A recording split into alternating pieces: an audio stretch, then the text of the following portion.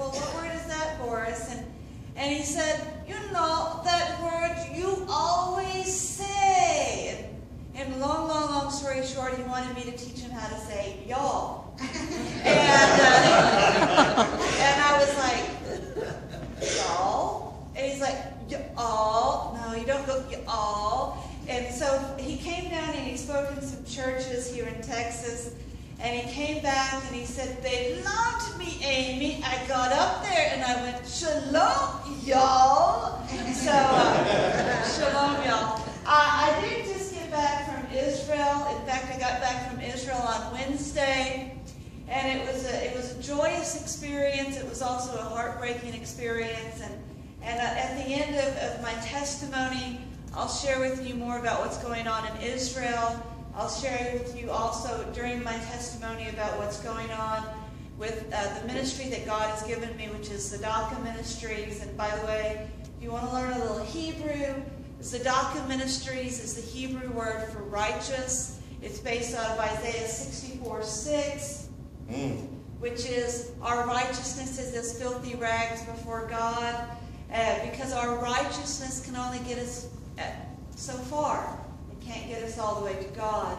But just so in case any of you guys are worried, I do know that up at the Boss Hog Bowl, a certain football team is allegedly playing at 7.30 tonight. We will find out about 10 if they actually played or not. In fact, while I was in Jerusalem on, uh, I think it was on Monday, Sunday night, last Sunday night, I was in the Arab Quarter in Jerusalem and I got myself a Dallas Cowboy t-shirt. Amen. And I don't know if you can tell, but it says Dallas in Hebrew. And if you can tell, it also says Cowboys in Hebrew in the helmet part. So I do know the Dallas Cowboys play tonight, so don't worry about that. Uh, something else happened while I was in Israel. My computer just died. So unfortunately, or fortunately for you, my video also died. So I'm just going to have to share with you my testimony, and I hope that's acceptable.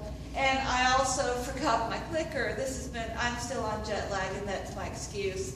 And uh, some of the Browns know what trying to fly 12 and a half hours is like. It takes you a while to recover. So I want to share with you my testimony, and I first have to start, Miss Emily, with at the very, very beginning with my baby picture. Whenever it will come up. Whenever Emily does it. But there you go. That is, by the way, I'm the cute one with the mohawk. The, the mohawk. Because mom said I had no hair, so she had to push all my hair up to the top and to, to make me look like I had any hair at all. And for those of you who are my former students, which is Emily and Sarah and Kurt, yes, that was the 1960s. You can make fun of it if you would like. I just turned 44 last week, so do the math. But I was born, I was born in 1969 to Jack and Barbara Downey. I was born on a Wednesday night. And back then, they had revivals, and some of you are old enough to remember this. When they had a, a church revival, it started on a Sunday. It went to the next Sunday, and that included Saturday night. And so the first time I was in church was on Saturday night. Uh, because I was always in church. In fact, I was in church 10 months before I got here because I was a month late. So I was in church 10 months before I got here. I never knew anything but to be in church. And in fact, some of you a few months ago met my sister, the older one, in the plaid dress. My sister's going to Ecuador in, in November. My sister is Janice. And so Jack and Barbara Downey have two missionary daughters. Little did they know when that picture was taken what would happen to their children. But I was always in church. I grew up in church. I loved Jesus. I loved God. I loved being a, a, a wonder, having a wonderful Christian family growing up in. And, and, and everything was wonderful in my life. Until a month shy of my fourth birthday when my dad did the unthinkable. He left a perfectly comfortable, middle class, comfortable lifestyle, and we got into a U-Haul and left New Farmington, New Mexico, and moved to Louisville, Kentucky for my dad to go to Bible college because my dad decided that God had called him into the ministry. And some of you are too young to, to remember this. I'm a history teacher. Don't worry, Sarah and Kirk and Emily, you will not have a test over this. But if, and I will not tell the hippie story, Kirk and Emily and Sarah, so don't worry about that.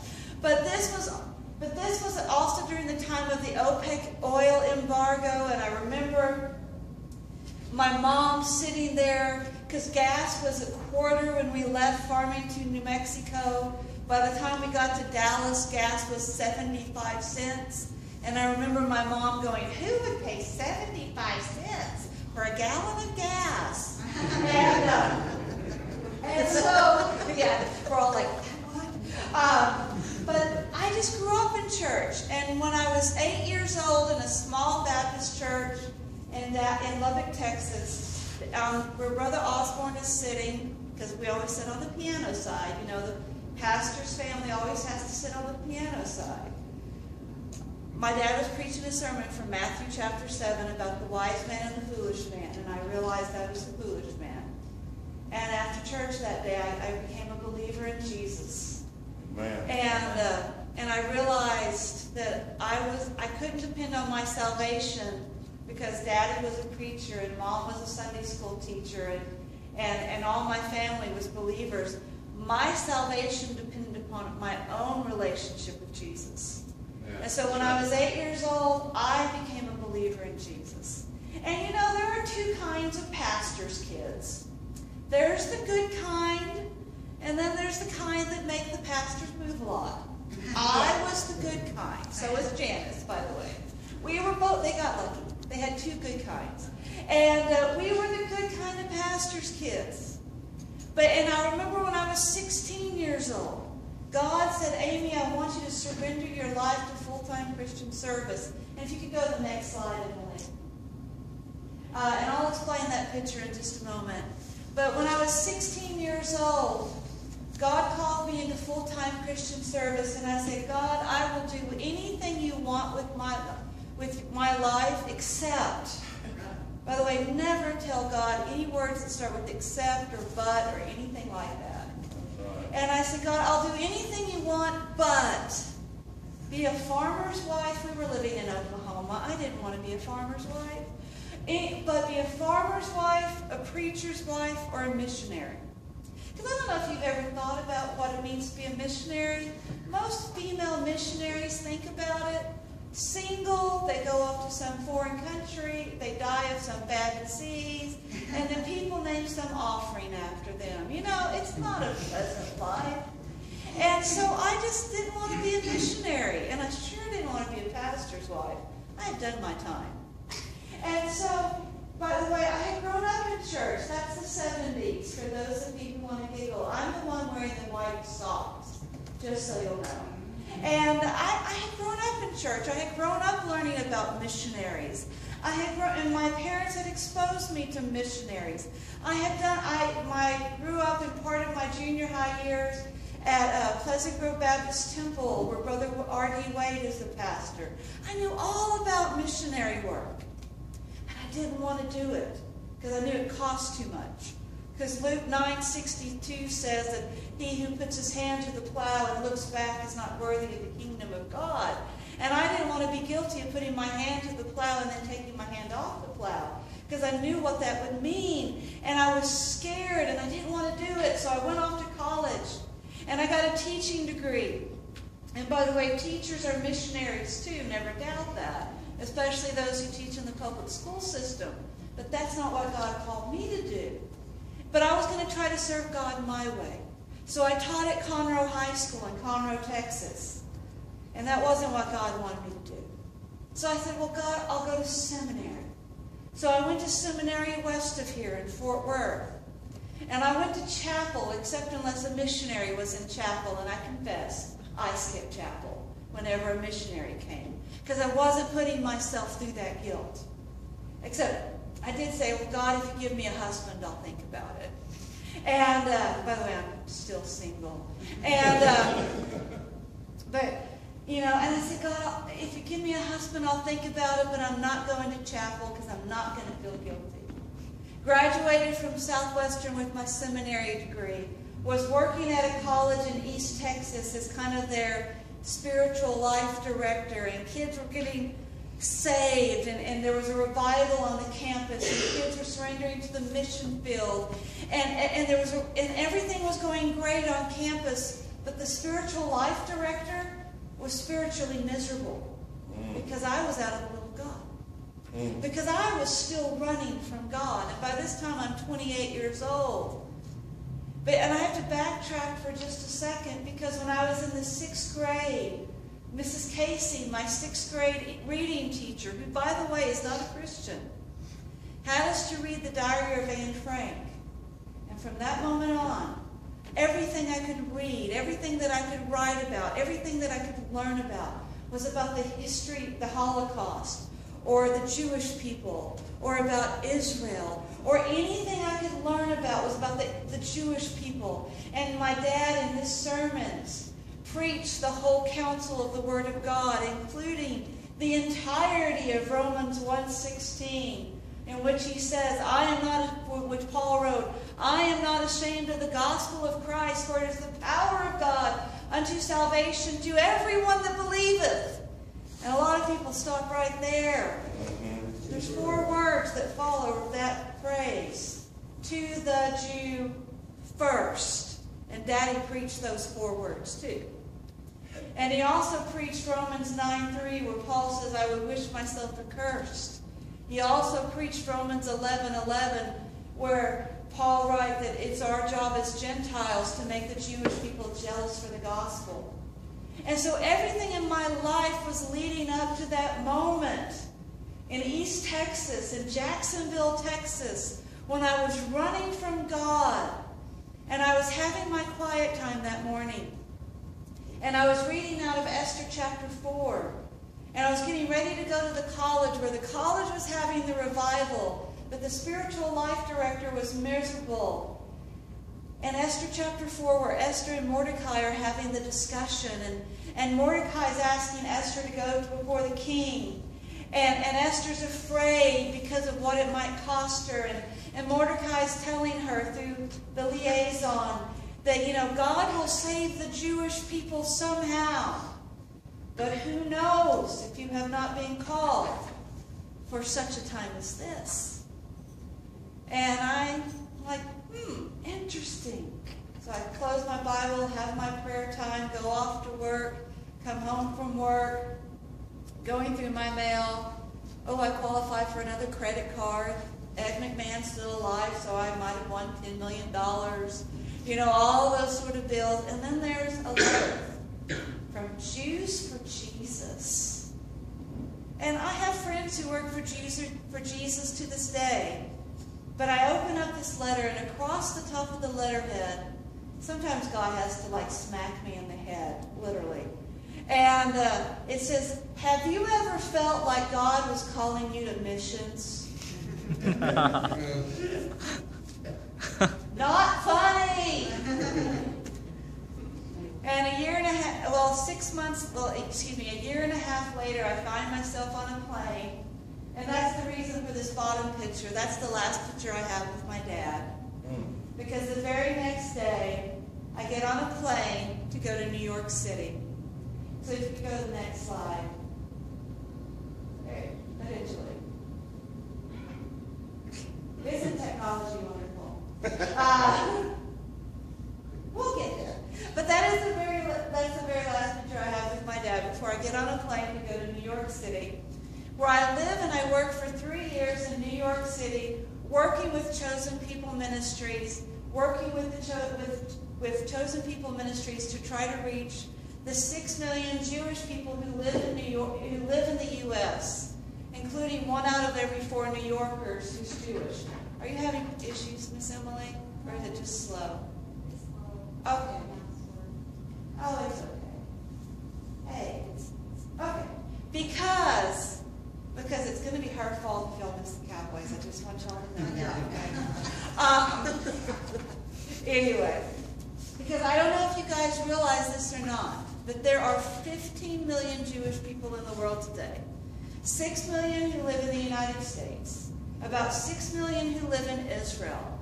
About 250,000 who live in Australia. About 250,000 who live in New Zealand. Not, it's not quite that many in New Zealand. About 250,000 who live in South Africa. About, about a million who live in South America and scattered all around the world. And at this moment, 99% are living and dying and going to hell. Now, I want you to think about that for a moment. Because we talk about unreached people groups, and people will talk about we need to go to the unreached people groups with the gospel. And the people who gave us the gospel, the people who gave us Abraham, Moses, David, Peter, Paul, Jesus, are one of the most unreached people groups living in the world today. At this moment, in Dallas, Fort Worth, in which Dallas, Fort Worth has around 55, 50 to 55,000 Jewish people living in Dallas, Fort Worth today, 99% of the Dallas, Fort Worth Jewish population are at this moment living, dying, and going to hell. That means that you don't have to go to Israel to reach the Jewish people with the gospel. That means that you can go outside these doors and you can go to Walmart. That means you can go to Target. That means you can go next door. Do you realize that here in Arlington, there are, there are Jewish synagogues here in Arlington? That means that there are Jewish people here in Arlington who need the gospel. And that is one of the ministries that that's the whole purpose and point of why Tzedakah Ministries, the ministry that God has given me, exists. Because I cannot reach all 15 million Jewish people with the gospel. They live too many different places. They live in Australia. That means you have a job, JD, when you get there. That means they live in Israel. That means they live in Arlington. By the way, that means they live, they live in Hobart, Oklahoma. I have a Jewish friend who lives in Livingston, Texas. And if any of you have ever been in, in Livingston, Texas, that means you went there by accident. and so, but who's going to reach my friend who lives in Livingston, Texas, unless it's the Christians in Livingston, Texas? That means we all have a job. A lot of times we think that it's our job to send missionaries. The moment we become believers in Jesus, we are missionaries. And that it means we all have the job of missions. And we all have the job of Romans 11, 11, of making the Jewish people jealous for the gospel of Jesus Christ. Could you go to the next slide, Ms. Emily? Because I did live in New York. I was in New York on 9-11, and want, at the end, I'll tell you my 9-11 experience, how I got to witness to my Jewish next-door neighbor on 9-11. That, by the way, she never let me witness to her until 9-11. 9-11 happened. She wanted to hear about Jesus. Uh, but go to the next slide, Ms. Emily. Because we have to take advantages and we need to take our chances that God gives us to share the gospel with the Jewish people. And, and I don't do a lot of infomercials. I'm horrible at infomercials. But on the table in the foyer, I want you to know that Tzedakah Ministries is not just about you, about me asking you for help. I want to help you. Because Tzedakah Ministries, I want to give you the tools to reach the Jewish people that God places in your life and in your path with the gospel. There are videos out there. These videos are five and a half minutes long. What they do, and everybody in this video except for myself is a, is a Jewish believer in Jesus. This video shows through the Old Testament who Jesus was, is, and will be. And you can get, if you can't share Jesus with a Jewish person, you can do this. You can give this to them. And there's also typical evangelistic tracts out there. You could walk a Jewish person through a gospel presentation. And all of the materials, there's a book out there, that's the only thing, but everything out there is for free for you to take. And I want you to take the materials. There's my prayer card is out there as well. But take the materials and take what you need to share the gospel with the Jewish people that God places in your life. Because I've never walked away from a church where I've shared at without one person going, I have a Jewish friend, or my boss is Jewish, or my son married a Jewish girl. There's somebody in this church that knows a Jewish person that needs Jesus. Take advantage of the materials that God has allowed me to create so that you can share with them about Jesus. Because you got to take advantage of the opportunities that God gives you. And I just have a few, Miss Emily, if you can go to the next slide. Take advantage of some of those opportunities. I'll just tell you some of them while we're waiting. Uh, a couple of years ago, I was flying to London, and I'm going to share this story because there's a point to this story. I was flying to London. It was my first overseas flight. It was the first time I was going to get a stamp in my passport. I was so excited.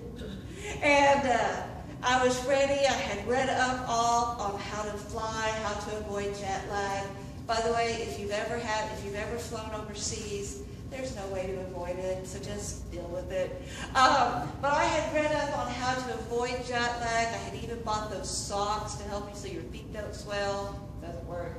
Um, I had done everything, and I was ready. But every time I fly, I always say, God, you know who needs to sit by me? So if there's somebody that needs to sit by me that needs to hear about Jesus, let me do that. So I was ready. I was sitting on the plane. I was ready. And here comes Jonathan. And Jonathan sat by me on the plane, and we were talking, and uh, we were talking, and, and Jonathan noticed mine. I have a, a necklace that has the Jesus fish attached to a Star of David, attached to a menorah. It's a messianic seal. And he, he said, Oh, are you Jewish? And I said, Well, no, but my Jesus is. And so we started talking about the Jewishness of Jesus and etc., etc. And in the middle of the conversation, he goes, Did I tell you I was Jewish? I said, Well, that's okay. So is my Jesus. And we kept talking and we kept talking. And we're halfway over the Atlantic by now. And we're talking and we're talking. And he said, Did I tell you that my mother is the only female rabbi in the entire country of Norway? And I said, Well, that's okay. Jesus was a rabbi too. And we kept talking and we kept talking and we kept talking. And he, tell, he said, Did I tell you that my grandfather is one of the few Norwegian Jewish people to go to a concentration camp during the Holocaust? And we talked about that, and I talked about Dietrich Bonhoeffer, and we kept talking. And as we landed in London, I said, I said, Jonathan, I'm probably like no Christian you ever met in Norway. And Jonathan said, Amy, you're like no Christian I've ever met anywhere in my life. I I'm telling you that whole story because I want to make a point. Because you know where Jonathan was flying from? Jonathan had been a PhD student at Texas A&M. He had been a PhD student at Texas A&M. He's getting his PhD in electrical engineering. He had been at A&M, and if any of you are A&M fans, I'm not going to go there because Texas lost to the Mormons last night. But, um, but uh, some of y'all are enjoying that too much. Um, but you know, he had been at you know A&M is supposed to be the Christian school, right? Where all the Christians go, and, and Texas is where the weirdos go. We all know that. Jonathan had been at A&M for two years. Never once had anyone shared Jesus with him. Never once. He had to sit by me for eight hours to hear the gospel from an American Christian for the first time. Now, this, the story gets even better because he had been in Denver the day before. and he had lost his passport. And his father, his mother's Norwegian, his father's Danish. And there happened, happened, you know, there is no happened with God. Amen. But there, he, there happened to be a Danish consulate in Denver so he could get a temporary passport based on his father's uh, birthplace. So he got a temporary passport to fly from Denver to Dallas, Dallas to London, to sit by me to hear about Jesus for the first time. As we were landing in London, he said, I hope they let me off the plane. And I'm like, have I been sitting by a terrorist for eight hours? and uh, because at Denver, they had put the wrong birth date on his passport. So he actually had an invalid passport. So he had an invalid passport from a from his father's nation nation status to sit by me for eight hours to hear about the gospel for the first time in his entire life, even though he had been at A&M, the Christian school, for eight for two years. That shouldn't happen. And I shouldn't have to be in Oklahoma City Airport to, to witness to a man flying to Chicago who's never heard the gospel before. I shouldn't have to be in the Israeli airport Wednesday night talking to the security guard who's going through my suitcase and have to explain to her that, you know, Jesus is Jewish too. And by the way, this, this girl had never heard that Jesus was Jewish and that Jesus could be her Messiah too. Think about that. And you have to take advantages of the opportunities that God puts in front of you to share the gospel. You don't have to be an official missionary to be a missionary.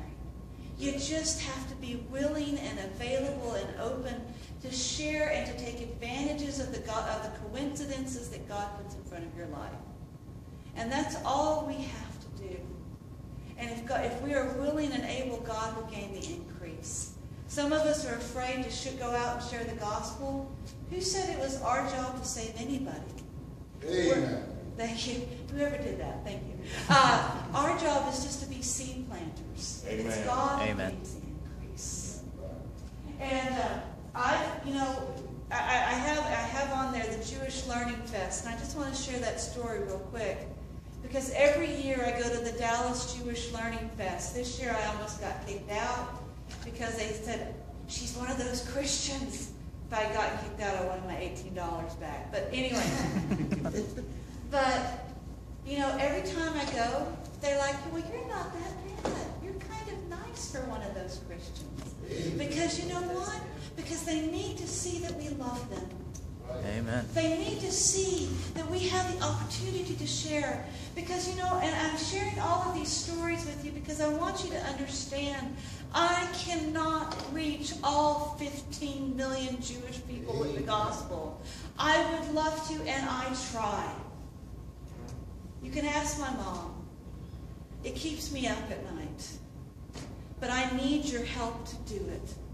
Tzedakah Ministries needs your help. Because if you don't, nobody else will. Because I can promise you, my mom calls for me, and she has had a lot of churches who will say, well, they've done had their chance. Mm. Yeah. Or, you know, well, they killed Jesus. She's had people tell her that. And if you want to hear some, if you want to see somebody who's responsible for the death of Jesus, go home and look in the mirror. Amen. Um, That's right. But ultimately, what did Jesus say? No one takes my life from me. I lay it down, I pick it up. Amen. But if you don't, nobody else will. And I'll share with you more stories in just a moment. Go to the next slide for me, Miss Emily. And actually, you can go, go on to the next slide. Because Tzedakah Ministries is about equipping you.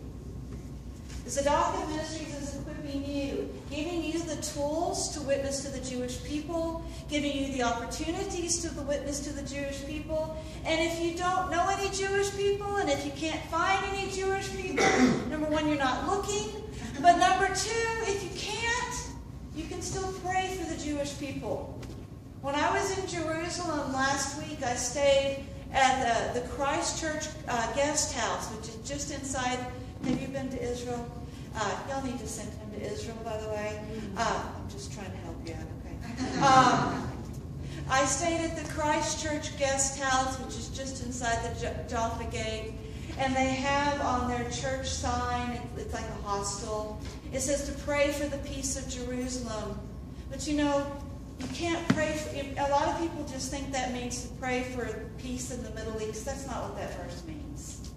That means that you cannot have peace if you do not have Jesus. Amen. Amen. Because peace is impossible. Because the Hebrew word for peace is shalom, we all know that. But that doesn't just mean the absence of war.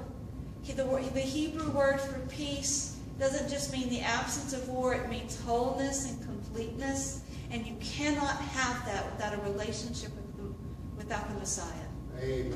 You have to have the relationship with the Messiah, who is Jesus, to have wholeness and completeness.